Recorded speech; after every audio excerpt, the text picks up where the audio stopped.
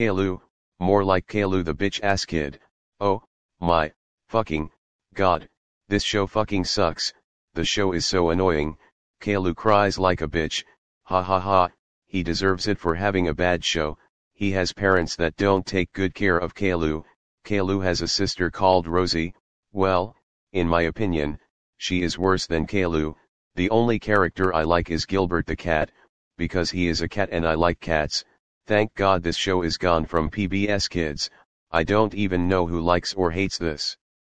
Show, I will leave it be, tornadoes are 30,000 times better than Caillou, end of rant.